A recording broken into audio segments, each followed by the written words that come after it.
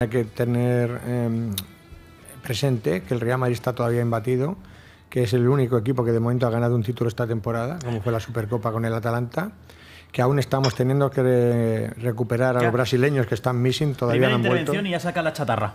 No, es que es verdad, es que ganó la Supercopa al Atalanta, esto es irrefutable. y es el único título que se ha disputado en esta presente temporada. Y lo ha ganado el Real Madrid, curiosamente y jugando mal, con una avería que nos ha hecho Tony Cross que tenemos que reparar y que aún no saben cómo repararla, eh, porque sin ir al mercado todavía es más difícil repararla, con los brasileños missing porque aún no han vuelto, ni Rodrigo, Rodrigo está, está que hay que hablar con él muy seriamente, decir, oye chico, no puedes vivir de los dos goles al City, que parece que está viviendo de eso, de los dos goles al City.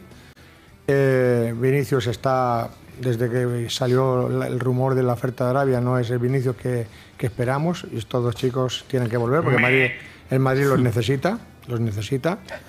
Y, bueno, y Mbappé poco a poco se va adaptando y luego hemos tenido mucha serie de lesiones y, no se ha reforzado la plantilla porque nos falló, nos falló el fichaje importante que era de Lenny Lloro.